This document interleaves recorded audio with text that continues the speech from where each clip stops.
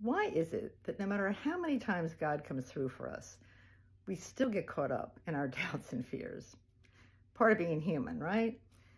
Just yesterday, I put out a video and I asked if anybody would be interested in a video workshop where I could go a little deeper on some of the issues around caregiving uh, in general and caregiving specifically for patients with dementia, like my husband Ben, who's living with Lewy body dementia.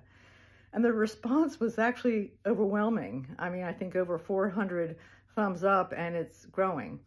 So, of course, I fell right back into the fear pit and was like, oh my gosh, I said something about doing a workshop. How am I going to do this? Where am I going to find the time? What am I going to say?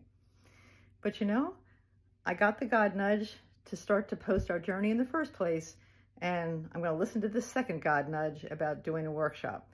But what would help me is if you would, if you're interested, um, in my bio, there's a link uh, where you could give me your email. And that way I'll be able to communicate with those of you that are interested and give you updates and let you know what's coming and when.